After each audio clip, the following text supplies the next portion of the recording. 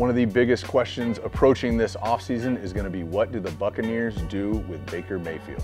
So I wanted to pick out three plays like I usually do and dive into the film and see what his tape is talking about. Last year, Baker Mayfield signed a one year, $4 million deal with the Tampa Bay Buccaneers, which ranked 49th in terms of the highest cap hit of all the quarterbacks in 2023. But then what did Baker do? He had career highs in yards, touchdowns, and completion percentage for the Tampa Bay Buccaneers offense. Now, if the Bucs do re sign him, some people in the smart football conversation world think that his deal could be in the neighborhood of three years and 105 million. And Derek Clawson from 33rd Team did a deep dive breakdown for the the pre-free agency list, and when he got to the quarterbacks, he had Baker Mayfield ranked 20th on that list. But Baker finished top 10 in most of the relevant statistical categories in the NFL last year. So why do we keep doubting Baker Mayfield? All right, let's dive into the tape. Taking on Chicago Bears week two, early in the season, before anybody really saw Baker coming. This is a naked. So what we're gonna get here is we're gonna get this little sit hitch.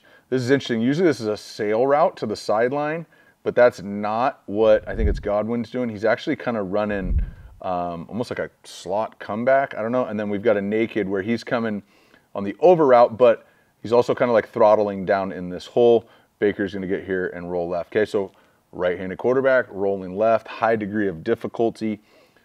I don't I don't know what they're trying to do on this concept. I don't love it because if you look right here, I mean Baker can't go to Godwin. He's got this linebacker floating and you go, yeah, well, he's open until he reads the eyes and comes underneath it and takes it the other way.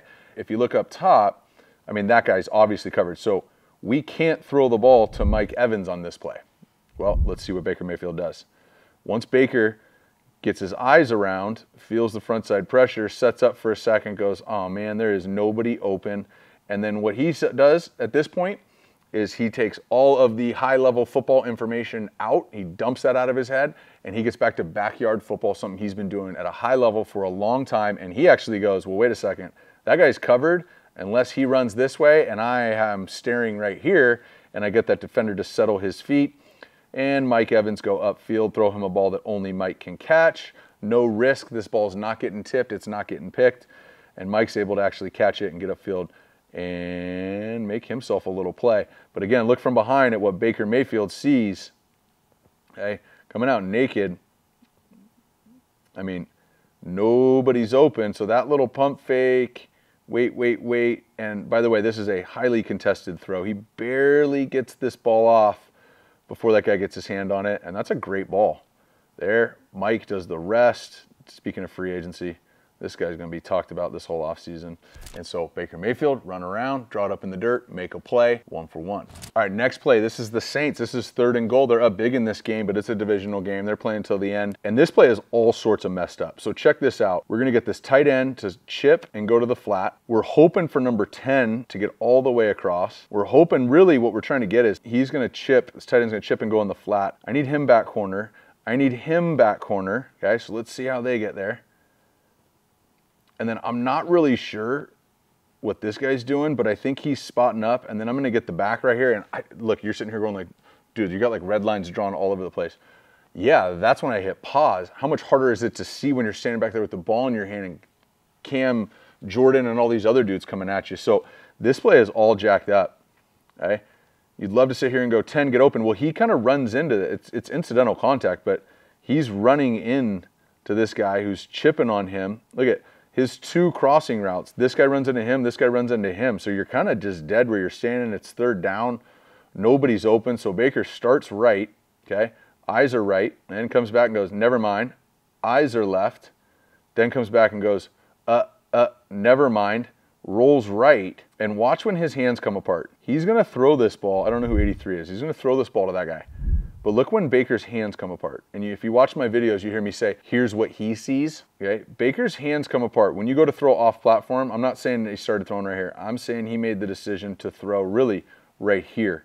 So if that's the case, this is what he sees. And look at what he's able to do. Right foot in the ground, fading away. All his energy right now is going this way. And he's able to get this thing cross his body, throw this guy open to a spot, ball is not in harm's way. This is not almost picked. Okay. We go, oh, that's a great diving catch. No, that's a freaking dime, is what that is. So again, Baker Starting to the right. Nope. Goes back left. Nope. Doesn't panic. He's moving. Look at him. It's great protection, but he's also creating time and space. So right here, this is what he sees. This next foot that's hitting the ground is throwing him open. Us or nobody, only guy who gets that is his guy. Two for two in terms of, hey, Bake, run around and make a play. All right, now we're at Lambeau. This is third down as well. This is not run around, make a play. This is just throw the ball with timing and accuracy on time. Let your guy make a play after he catches this ball. So we're gonna bring Mike Evans across in motion. Defense is gonna balance up. We're gonna have him run a spray release out route. We're gonna have really like a flood concept there with a, a spray release out in a high angle corner. And then we're just gonna run a little choice route in here. But look at the timing of this. 19 turns around. He knows that linebacker's coming. This ball is ripped. Only place this guy can get it and puts him in a position to make a play after the catch. That when you draw these things up, every time it looks like it's a touchdown. So here's Baker again. Interesting footwork, I will say. Puts himself in a position where that's hard to do.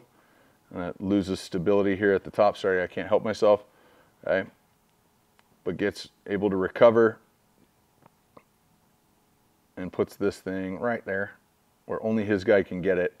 And this is kind of what we saw plague Green Bay all year. That's essentially four missed tackles, the way I'd look at it, and a huge gain. So we've seen Baker run around and make plays. We've seen him push the ball down the field. But I also just want to highlight the fact that this dude can throw on time with accuracy and put the ball exactly where he intended, which is why we saw career highs in yards, touchdowns, and completion percentage this year. Now, just some stats. Baker Mayfield. First off, the Bucs. I mean, you consider we'll go into the personal stats, but the Bucs won the AFC South. They were 10 and 9 on the season because of the playoffs. Um, they lost to the Lions in the divisional round. Lions were damn good this year, and they beat the Eagles in the wild card round. Baker Mayfield, 4,700 yards, 64% completion percentage, 34 touchdowns, 12 picks, 94.6 rating. And let's put this in context. Tom Brady's last season in Tampa, 5,000 yards, 65%, 27 touchdowns, seven less, and 10 interceptions, and a 90.7 rating rating. So to put this into context here, not comparing Baker Mayfield to Tom Brady, but I am comparing their last two years as the Tampa Bay Buccaneers, and a lot can be said about how well Baker played. And then the winning. I mean, they averaged as an offense 326 yards per game. They only ran 88 yards per game. They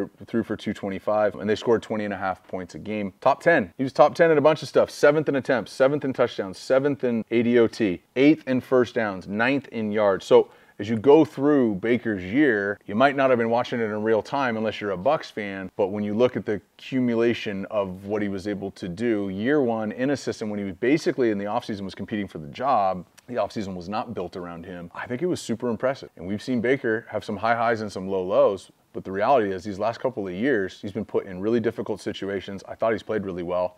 He's had incredible moments like the Rams game on Thursday Night Football we all saw, where he signed like 45 minutes for the game and balled out. But now we've seen him put an entire season together, and he's still young, healthy, and a former number one overall pick and a Heisman Trophy winner. So I'm excited to see what the Bucs do, and if they don't go all in and move forward with Baker Mayfield, what team does move forward? Because I believe that he has played well enough for somebody to go ahead and push all the chips in the middle and say we can win with this guy. The Bucs did last year.